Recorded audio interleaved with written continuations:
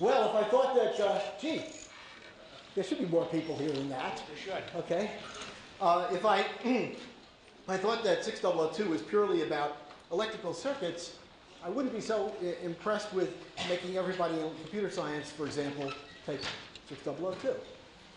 But 6002 is more important than that. Okay, the T electrical circuits are a uh, gorgeous language, an intellectual powerhouse, a language for describing the world. What I mean by language is something like this. Okay? Languages are built out of primitive elements, means of combination, and means of abstraction. What I mean by a language is that I can make things that are compositions of primitive elements, and the objects that I form are themselves just like the primitive elements in that they can be composed to make bigger things. So, for example, in uh, electrical circuits, the primitive elements here are things like resistors, capacitors, inductors, independent sources, and things like that. The means of combination is you can connect the terminals of elements together uh, to form nodes, and the, the laws associated with that, which we can understand, are Kirchhoff's laws and things like Tellegen's theorem, I suppose we haven't told you about, but we could have. And the means of abstraction are that I can make bigger boxes that are equivalent to the boxes that have lots of pieces in them for the purpose of describing their behavior of terminals. Okay? We have examples of that for linear systems of Thevenin and Norton, and I suppose two ports, port boxes. So that's a, a very important idea. That's a language. Okay? What I'd like to show you today is how we can apply that language to understand what's going on in something you probably know nothing about. Now, you probably have never thought very much about a mechanical watch. Uh, how many people here have watches that tick and talk? Oh, there are a few. Amazing. Okay, well that's not very that's not very common anymore. But we have, how do we know how it works? Let's try to understand how something like that works. Well, there are a variety of approaches to understanding how something works. I suppose the very beginning of such an approach is to think about anatomy. You know, what are the pieces out of which it's made and how are they hooked together?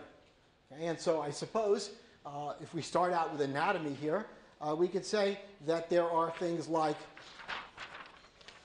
well, here being a, a watch itself, looking at it a little bit easier to see, it's lots of parts, you see.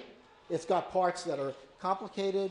It's got, uh, it's got lots of gears, gears. It has uh, little screws. It has bearings. It has some funny kind of wheel over here. Okay, it's a, a big complicated mess. So we could take it apart like a dissection. Okay? Supposing we dissected it, we'd see lots more parts. Okay? We'd see things like, like that it happened to have a case, which I've already taken off this watch. Okay? You could see that it has a main plate and maybe a face, which is a display. It has hands. It has some uh, other little things that we can't tell yet. If I take it apart further, we find, well, on the dial side, there are more parts and lots of names for these parts. Okay? And this is not very illuminating. That's a general problem with anatomy, but it's necessary that be, when you start out with something to begin to get familiar with the parts. It gets a little more complicated on the back side. Uh, G, uh, here's the, here's the uh, main movement side of the watch. I suppose I should put it this way, although it doesn't matter. Okay, it's just- as mysterious one way or the other. But basically, by golly, there are lots of parts here. And not only that, there are some screws that are so small in, say, a lady's watch that it's not too hard to inhale one. I've done it, okay, when taking one apart. so there, it doesn't seem to matter very much. Uh, watchmakers tend to inhale parts all the time. okay, that's one of the ways they disappear. And they have lots of names, right? There are names for all these parts, none of which you should know anything about. Ah, so I suppose the first thing we want to do is try to organize this information. And I suppose when we deal with anatomy, after we've done some dissection, we have to put it back together and say how things hooked together. So the thigh bone's connected to the hip bone, and the hip bone's connected to the backbone, and things like that. Okay, and so what we have in a watch, just looking at the parts, there's bigger parts.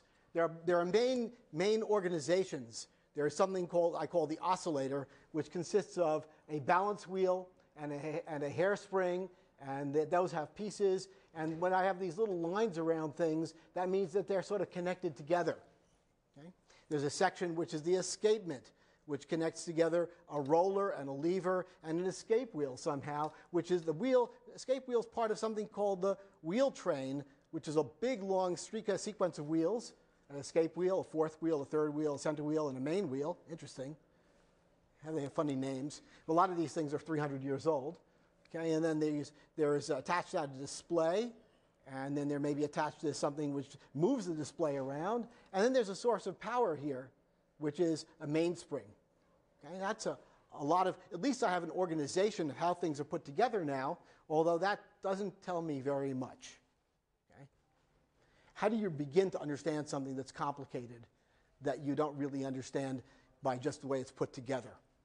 I suppose the next step is to think about not anatomy, but physiology.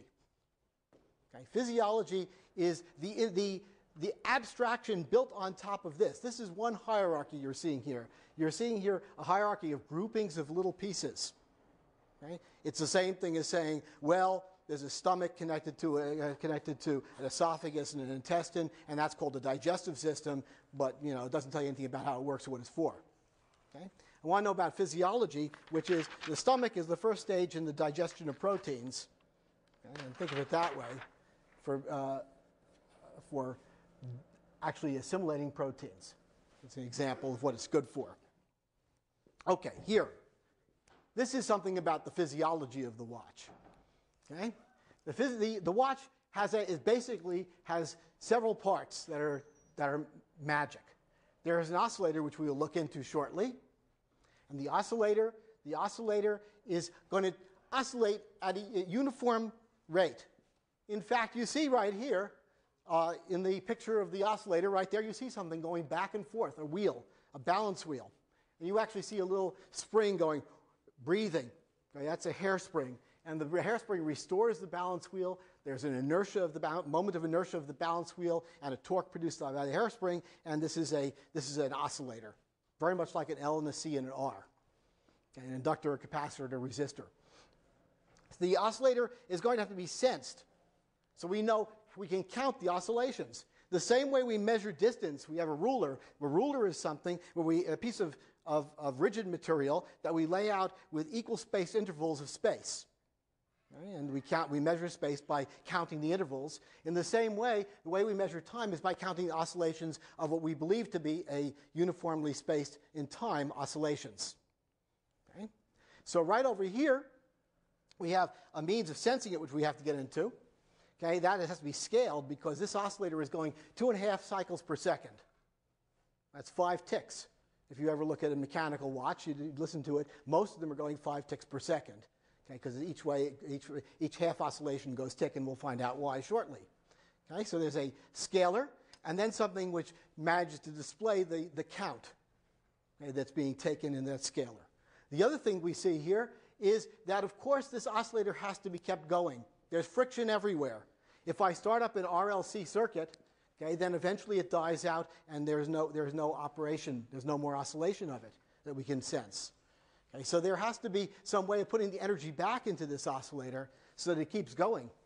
And so what we're going to do there is going to have to start out with some energy source, and then we're going to have a transmission mechanism which brings, the, brings that energy to the oscillator, and somehow it has to do it in some clever way so it doesn't disturb the timing.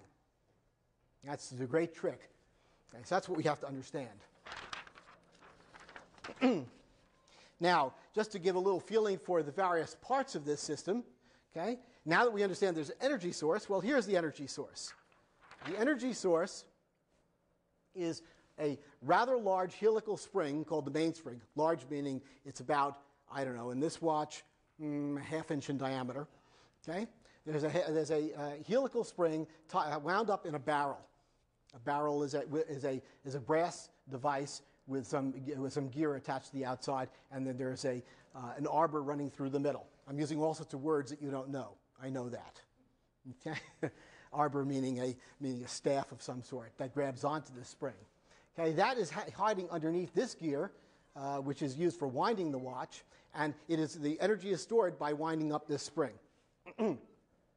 when you oh, take apart a watch, it is very important that you first make sure there's no energy in that spring. Otherwise, you end up, so it has to be wound all the way down. Otherwise, you end up with a very large number of broken parts, and maybe most of them lost because it's flying apart.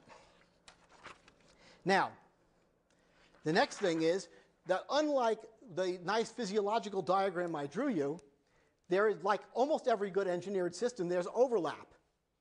There are several purposes for many parts. In the case of a, of a watch, the transmission of wheel, the wheels that transmit power from the barrel to the oscillator happen to be overlapped with the wheels, they are the same wheels that are scaling the rate for the display.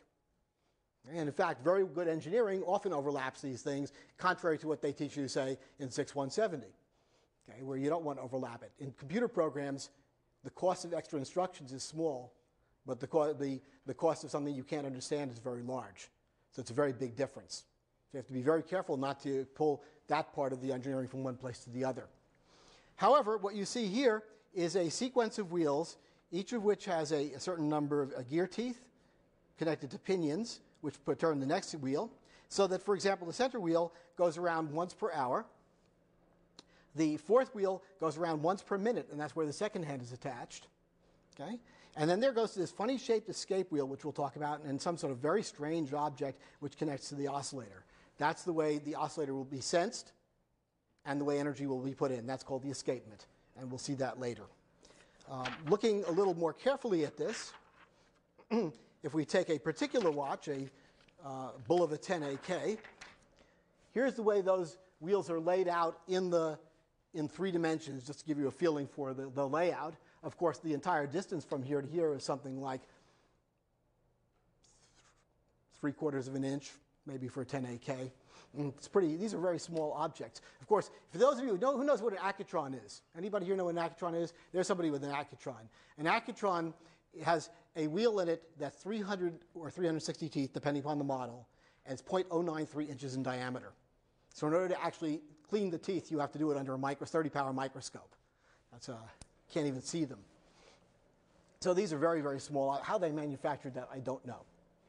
But there's a, there's a piece of, uh, of the, the, layout of such a thing. And if we look at it uh, from the side, this is indeed a, Bulova 10AK movement. You look at it from the side, you see that there are these plates that support the gears. There are bearings. The bearings are jeweled bearings for reasons we'll talk about later. There are jeweled bearings here. And then there are these wheels. This is the center wheel. Then there is the third wheel, the fourth wheel, the escape wheel. Uh, can anybody tell me why this drawing is a lie? What's wrong with this drawing? Quick, there's something very wrong with it. Somebody, the, the artist, the artist is a crook. Hmm? The aspect ratio is wrong. Well, that's sort of plausible. Okay. Okay, I'll tell you. These, these wheels are not collinear. There's no way I could have cut the watch so I would see that. Okay, this is a so one of the things you should be eyeballing when you see, see engineering drawings is whether or not somebody is cheating you for, uh, for what reason. They may be doing it for an instructive reason, as in this case. okay. Anyway, the center of the watch is the oscillator, so I want to zero in on that.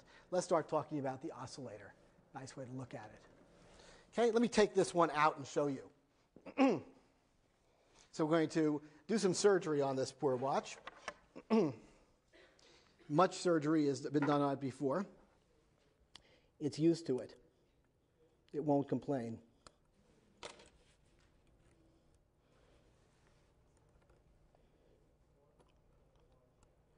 Okay, so here comes the oscillator. Here it is. I'm going to put it on what's called a balance tack. Just make sure I just get that screw out of there. There's a screw. Okay, here we go. So what you see is a relatively massive wheel. You can see the size of it compared with my fingers. It's, my fingers are fairly small too, but these are, these are uh, rather small. And this uh, contains, you can see that this is a, it's on a spring, such that if I wiggle it like that, it goes back and forth. Okay? Let's see if we can model that in a mathematical way, first of all. Okay, we all know how to do this kind of, of thing from 801, I hope. And what we have here is, see, here's the line where people can't see anymore, I suppose.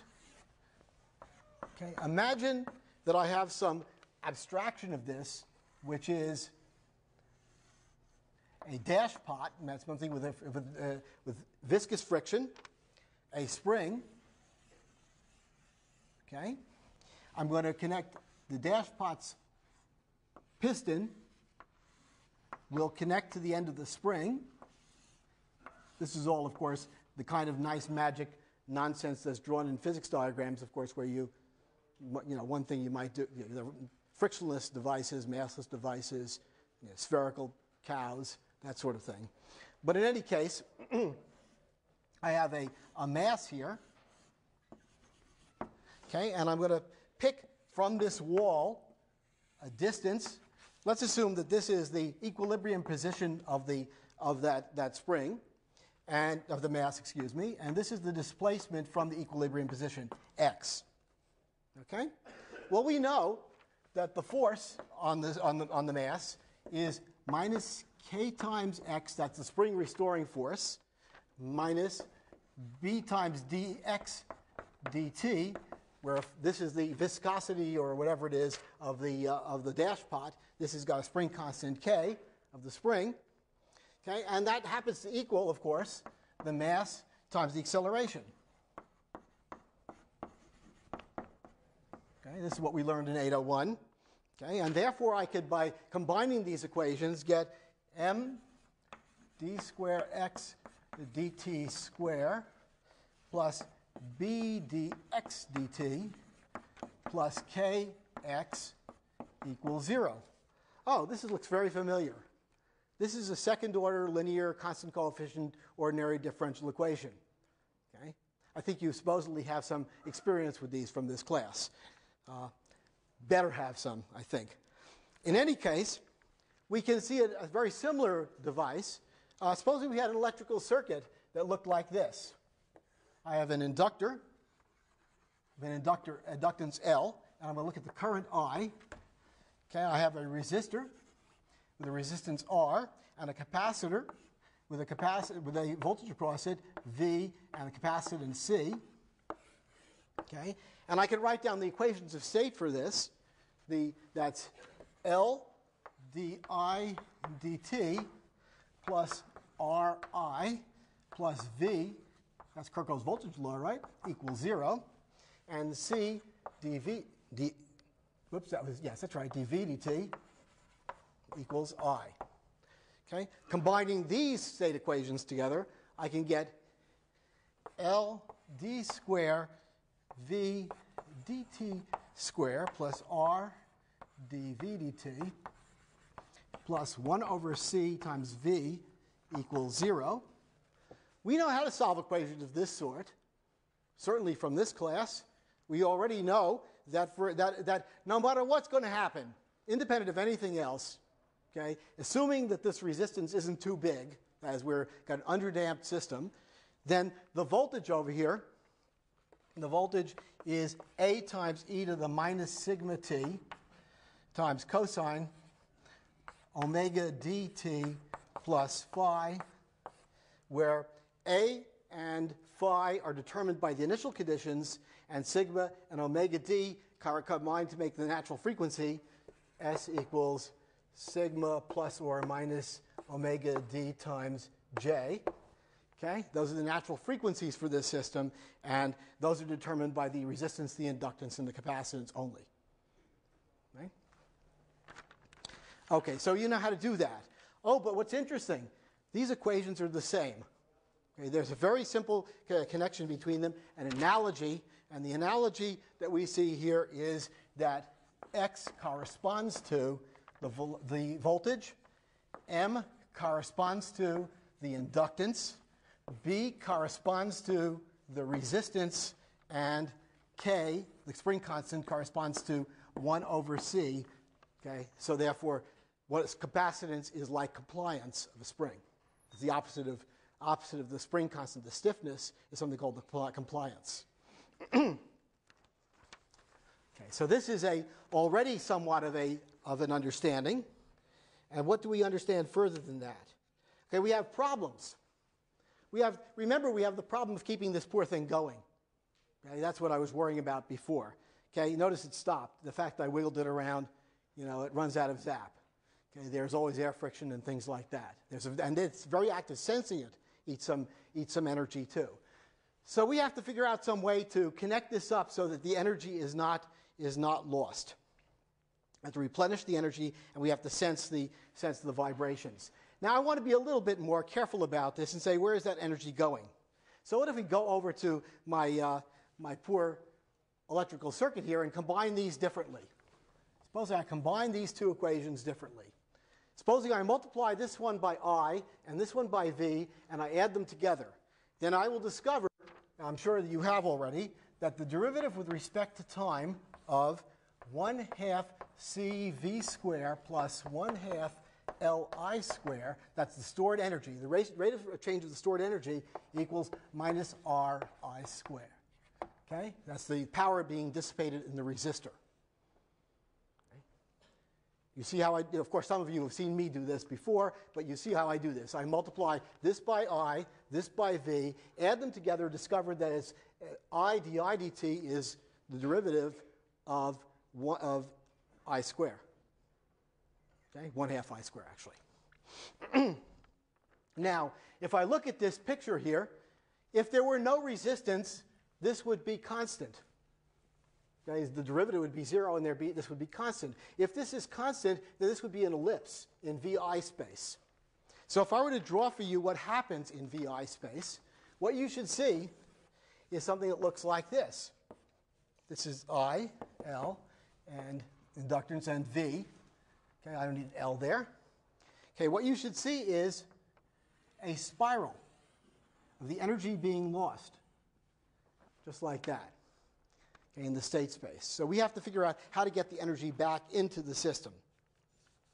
Okay, well, that requires understanding a little bit more about this system.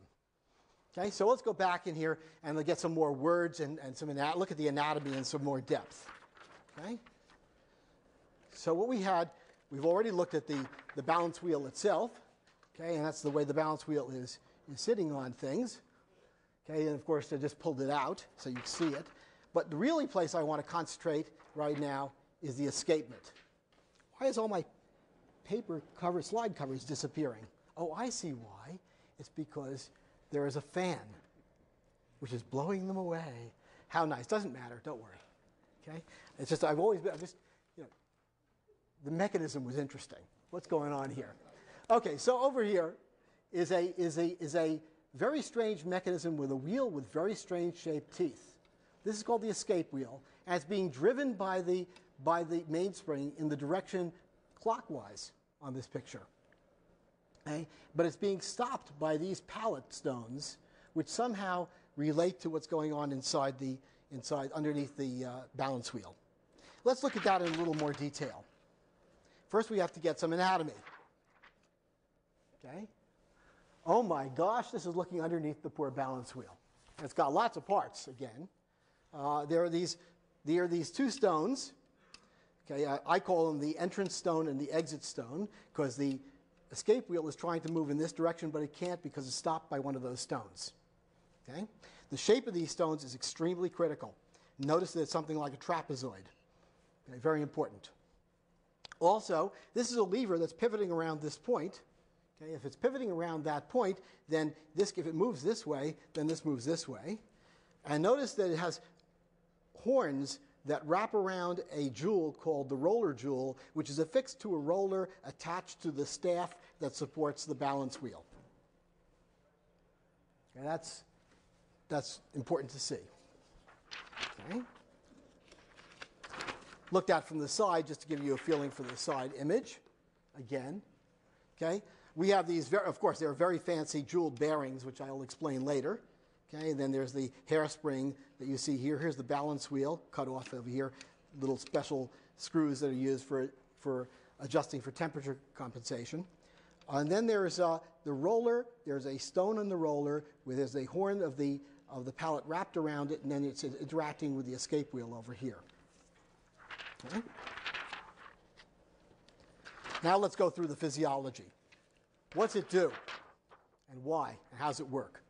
Okay, so here's the story that's probably the most interesting story about watches. Okay?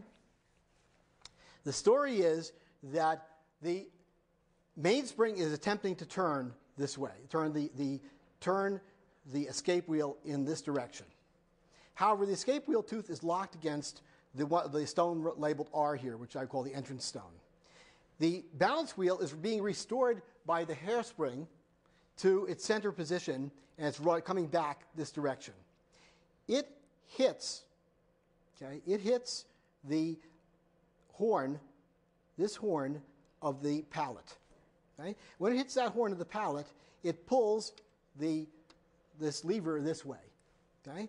thereby unlocking this tooth okay?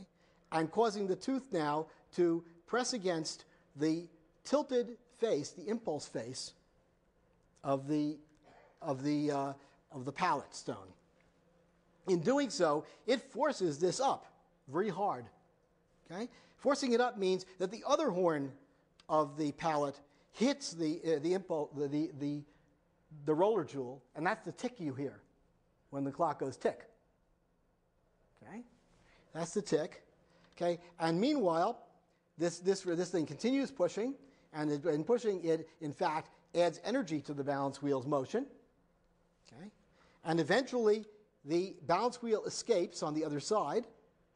Okay, going and going to, this, this roller jewel is going to just miss the miss that horn over there. But the escape wheel is now going to be able to move one tooth, and it gets stuck. So notice we've accomplished in we've accomplished in one piece of machinery made out of a few parts, both sensing the motion of the balance wheel, noticing when it goes through zero, the zero crossing, and putting energy into it okay, by a very clever trick. This is the kind of invention that if you, if you see it, let's say this way, if you come up with one of these, they're going to remember you for 500 years. Okay? I hope one of you does come up with something like this. Okay? And eventually, of course, this balance wheel will come back the other way, okay, because it will be restored by the hairspring, and we'll get the, we'll get the, other, the, the exact opposite phenomenon occurring, where this tooth will become unlocked, and then this one will be locked here. Okay? So this is a, this is a marvelous invention. And I don't know who did the first one. Okay? We can actually see that right here in the watch, in the actual watch. Okay? You can look at it in some detail. And what you see, I hope you can see it.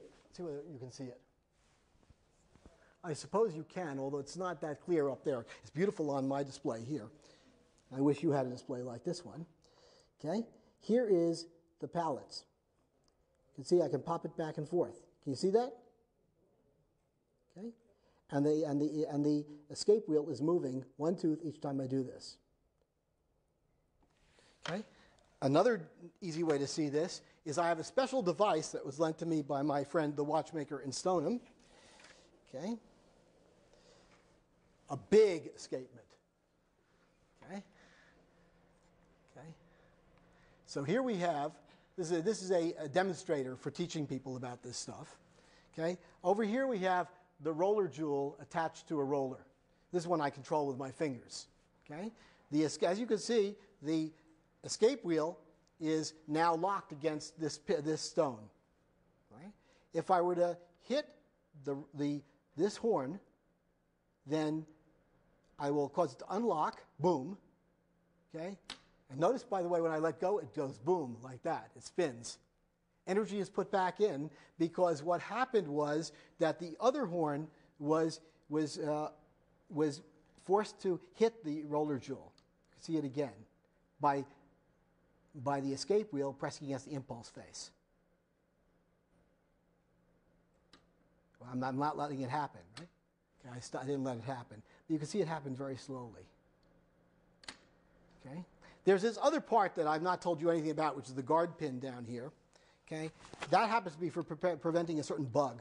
Many engineered systems have bugs. Okay? And the bugs are discovered after they are invented and somebody has to make a patch Okay, and we all know that engineered systems have these. And so this, this patch is to prevent um, the, the, the pallet from going to the other side when the balance wheel is in the wrong position. So there's a little notch here, a passing hollow it's called. You can see it. See that little, that little notch in the bottom of the roller, notch over here. And so that, the, so that this, this action can only happen when the balance wheel is in the right position. And the purpose, the reason why this matters is if you vibrate the watch, like you play tennis, okay, it's going to, things, bad things might happen. You might get the, the uh, escapement on the wrong side. Okay, locking the whole watch up. Okay, so now let's get back to some electronics. Okay, and uh, Lorenzo will get ready, but I will uh, show you something. Okay, this can be modeled an electrical system, the escapement. It's a rather nice, interesting idea. because what I have is that inductor, the resistor, and the capacitor. Okay? One of the problems I have to sense, I said that the position is the voltage. Right? I want to sense the zero crossing is the position. Okay? So what I have here is a device which is going to sense zero crossings. But we know how to do that. We have a high gain amplifier, a differential amplifier. An op amp will do. Okay?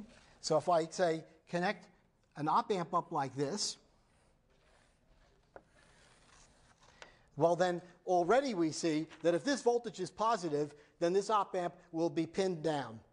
If this voltage is negative, the, the, the, meaning from here to here, then the op amp will be pinned up. Now, I don't want it to get quite pinned because that makes the op amp slow. So I'm going to prevent the op amp from being pinned by putting in a little feedback network here consisting of two diodes, which limits its motion. Those are the, huh, those are these guard pins over here. See these two pins that limit the motion? This one and this one. okay, that's the diodes. So I'm going to put them right here. Okay? And now I have something, if I look at what's going on here, supposing I've got an oscillation in the voltage like this, a sinusoidal oscillation. Then what I've got over here is a square wave coming out. Okay? It's going to be a square wave of plus minus 0.6 volts now, because that's the diode drop. And now, next thing I'm going to do is I'm going to turn this into an impulse because I want to hit the thing and make the tick. Okay? The tick and the tock. Okay? So, of course, to make a, these are little, these are, are approximately unit step functions, one after another. A derivative of those gives me impulses. Okay, and presumably you've heard about impulses at least. So I'm going to put this into a differentiator, which consists of a, an op amp with a, with a capacitor in series and a resistor feedback. Okay, and now at this point, I have, I have impulses.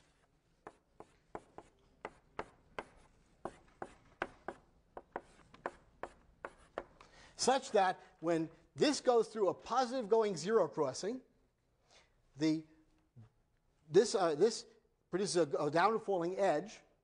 That downward falling edge is differentiated to produce a positive going impulse. Okay? To take that impulse and feed it back into the oscillator. Okay? And now we have the equivalent of the, uh, of the, of the, uh, of the escapement. Will I show it, Lorenzo? This is the um, three trace version. nope, not that one. Well, that shows this in any case. Okay.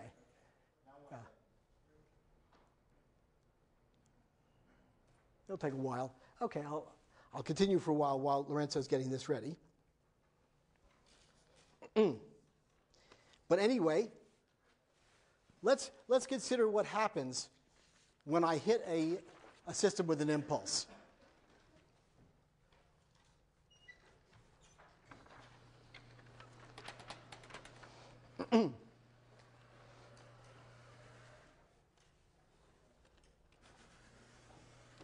Ah, little bit more. Okay. So supposing I have a voltage source.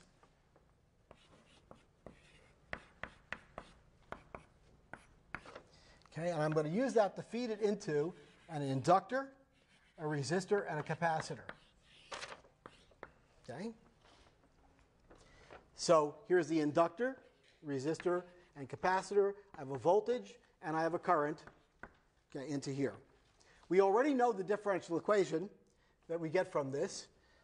L d square V dt square plus R dV dt plus 1 over C times V is A over C times the impulse that I'm applying. Okay? Now, what happens when I have an impulse? That's pretty strange. Okay, thank you. There's what I wanted. Okay? Good. Now we've got the right thing. Okay, just to give you a feeling for what this is, let's make it a little brighter uh, just for a second. Okay, it's bright. Okay, fine. What you're seeing here at the top trace is actually the voltage across the capacitor. Okay? Now, what you're seeing at the, at the second trace is this voltage, which is the voltage uh, after the zero, whoops, zero crossing detector. Okay? And so you're seeing the square wave such that the zero crossings of the, of the voltage on the capacitor are be, turning into level changes. Why is the uh, video disappearing? Okay, it's back again. Okay. And indeed, the last bottom trace here is the. I knew we shouldn't have had video people around. The, um, the, uh, the bottom trace is, in fact, the, uh, the, the impulses being generated, and you can see them, and they're in the, in the direction opposite that of the, of the level changes. Okay? One of the things interesting is that the top uh, picture is not a sine wave. Okay? It's not a sine wave, but in fact, it's almost one. Okay? There is, however, a change in slope at the time when the impulse comes in. This is important. Okay? I've particularly chosen a rather low Q circuit so you could see this. Now let's figure out why this is ha- was happening here. Going back to this equation, okay, if I were to say that the second derivative, if I were to take this, take this impulse and put it into the second derivative here, see if I put it into the bottom here, then I'm going to get all sorts of junk. Okay, so I'm going to put it over, here, and I get the second derivative just right after uh, t equals 0, dt square is something like a over lc times the, the, the impulse, delta t. Therefore, by integration, dv dt is something like a over lc times the unit step. Okay? Ah, but I equals c dv dt is, uh, so therefore that's approximately, approximately A over L times U of T. So we see that the current takes a step every time an impulse comes in. And that gives us the size of the step. If the derivative is taking a step, then the, if I integrate once further, I get a ramp, and that's why I'm seeing a change in slope. Okay? so, uh, Lancer, give me the next picture. 3, 5, whoops, Thank you. Okay, so what we see here, again, is now we're looking at the current as well. Okay, the, third, the middle trace there is the current through the inductor. And what you're seeing is every time an impulse comes in, the current takes a step. Uh, this is very important. Let's see if we can understand what's happening here. so, oh, let me use this one.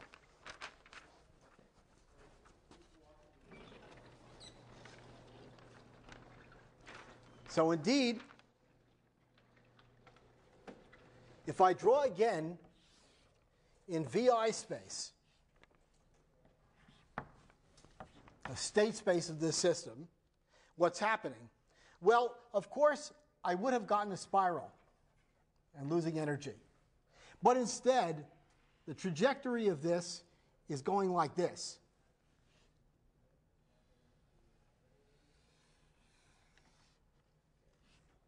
Okay? This is the trajectory, the orbit in the state space of the, uh, of the oscillator.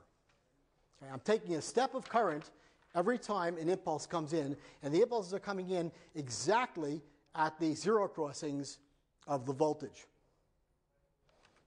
And in fact, there it is. That's a nice picture of it right there. Thank you. Why are we choosing to put the impulses in at the zero crossings of the voltage?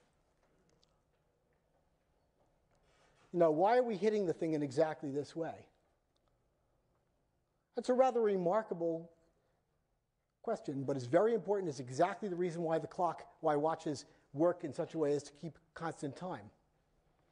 Okay? Let me show you. You see, the meaning of time, I wish I had drawn this nicer, but the meaning of time is this angle. Is a rotating vector which is rotating with time. Okay? So this thing is going around, hopefully uniformly, in, the, in, in time. Now, if I were to accidentally put an impulse in over here, then I would get a step like this, which changes the time. Okay? It would give me a lag. And the lag would depend upon how wound up my mainspring was, how big the impulse was, how big the area of the impulse. So, the crucial trick of making the impulse come in at exactly the time when the zero crossing of the voltage is occurring, or when the pendulum is going through the zero position, the center, or when the balance wheel is going through its center position, is because that's exactly the time which, if I took a step in, in velocity, I would produce no change in angle, and therefore no change in the phase of the clock. And therefore, it's independent of how much the mainspring is wound up. There's another argument for that which is really important. Okay? And that is that, well, at the time when, let, us see what happens when I hit something like a, a, a pendulum. Supposing I have Mr. Pendulum over here. Okay? And supposing I think about, well, when it's up at the ends like this, it's going very slowly, maybe stopped. It's going through the middle, it's going fairly fast, right? That's the maximum speed is when it's going through the zero crossing and I'm hitting it in the direction it's going when it's going at maximum speed. Okay? What's the energy stored in that?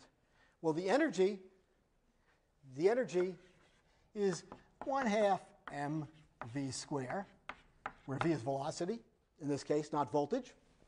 Okay? This is the energy in the pendulum or in the balance wheel. It's the, it's the angular velocity, and m is the, is the moment of inertia. Okay? It's kinetic energy. Because all the energy is in kinetic energy at that time. There's none in potential energy. It's only potential energy if I'm up at the ends. Okay. So supposing I add in a little delta V. E plus delta E equals 1 half m v plus delta v square. And that's 1 half m v square plus 2v delta v plus delta v square. Okay? Delta V is small, we assume. In this case, it wasn't so small. Okay? That's because we had a very low Q circuit to demonstrate this. But this is the, so this term should be very, small by comparison to this term. If V is large, okay, at the maximum velocity, I get the maximum energy transfer by putting an impulse of velocity. Okay? And so this is a good way to get energy into that that balance wheel or, or uh, pendulum or oscillator. Okay? okay, well, now I've been talking about Q. I said the Q of this system is very low. But we do great deal of work in making watches to make the Q high. Why do we make the Q high? Let's go look just at what we do to make the Q high. Here's a part of a watch that you barely would think about. Okay? Looking at the bearings for the, for the balance wheel. Okay? There's a beautiful conical bearing here. In the particular watch we have here, the uh, diameter of this pivot is 11 one thousandths of an inch. Okay? It is going through a piece of synthetic ruby, very, very hard material. called jewels. Watches have a certain number of jewels, 17 jewel watch, things like that.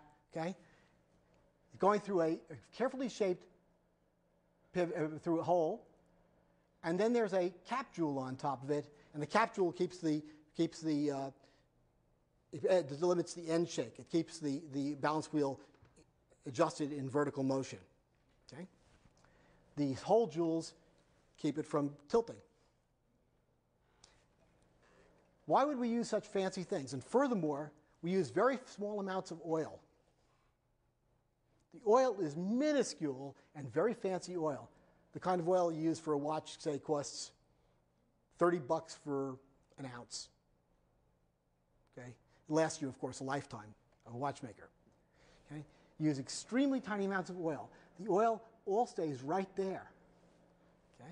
So there's a lot of effort that's put into making an extremely fine, uh, extremely fine bearings.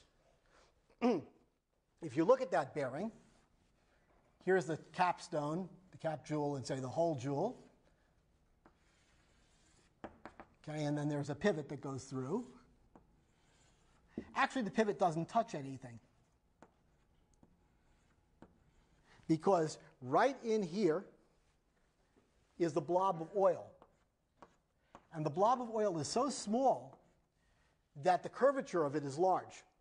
And the surface tension is so large as to put a high pressure, many pounds per square inch, which floats the, uh, the, uh, the pivot. So this really is a good bearing. It's a high pressure bearing. That's what's wrong. If you put too much oil in the watch, it won't work because it won't float the pivot or it'll work lousy. So the minimum you have to use really, really tiny amounts of, of oil. So we put a lot of effort into that. Why do we care so much about the, about the Q? Well, you already know. And I wish I had a little more space here. I know what to do. I'll use up. Use up the final review for you. Blackboard.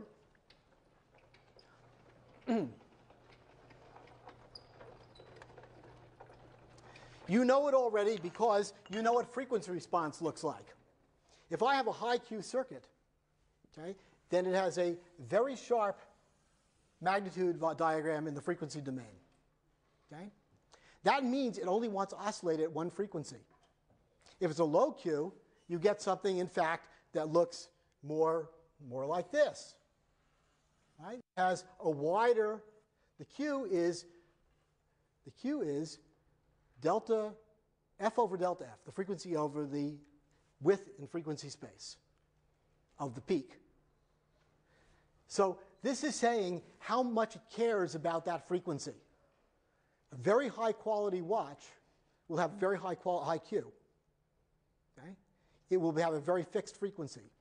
The way you know whether a watch or a clock or something like that is good is by looking at the random walk of the, of the, of the rate.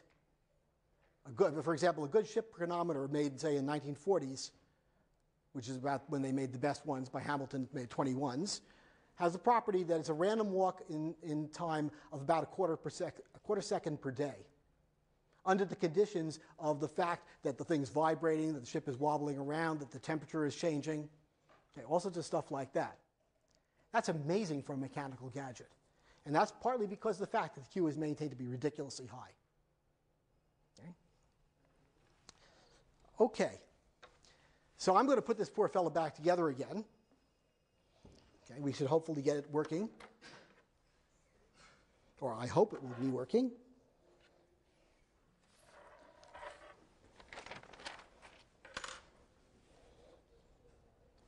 Can you see it? Let me make sure you can see what I'm doing. First, I want to pop the escapement into the right state. Then I want to take the appropriate tweezer get it off the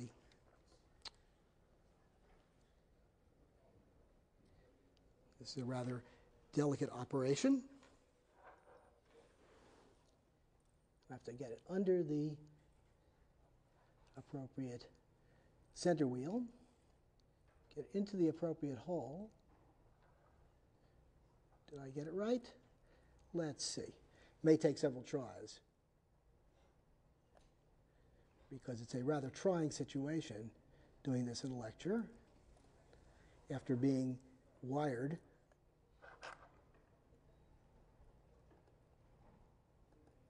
Okay, I didn't do it right that time. We'll do it again. Let me pop it back.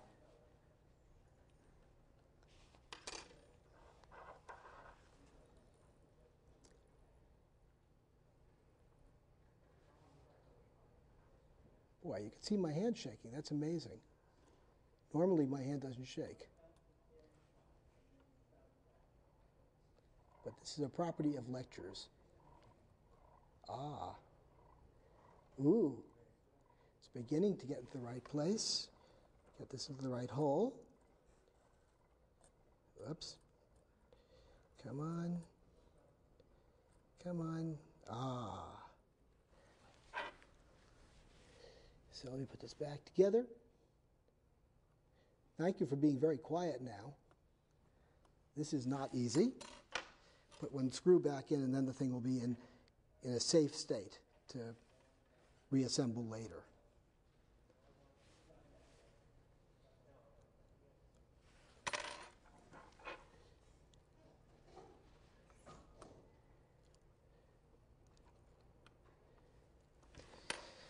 Okay, so I wanted to look. This is not a six-size ladies' watch. If I if I had one of those, I'd be in trouble. This is a big watch. A 16-size watch. Okay, specifically brought out for a lecture. You know, if you so you know, there's no. You should see what happens when it's a little watch. As as I've said, most most good watchmakers spend a considerable amount of their time on their knees chasing the parts that they dropped. If they've not spent time on their knees, they're not doing enough watches. So I just want to give, I just want to thank the number of, of number of, of, organizations for helping with this.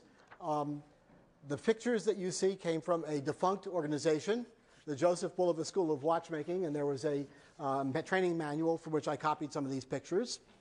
Okay, unfortunately defunct. Uh, there is a, a marvelous book, which I believe is out of print, by called the watch. but actually it is in print. You can probably get it from the American Watchmakers Institute. Uh, it's uh, the Watch Repairer's Manual by Henry Fried, who is a, one of the best watchmakers who ever lived. Okay, and he lived in Larchmont, New York. Okay, that's uh, so I want to thank them, and I want to especially thank Lorenzo, who has made it possible for the, there to be demos in this class. Okay, for this entire term. Okay, and that's it for today.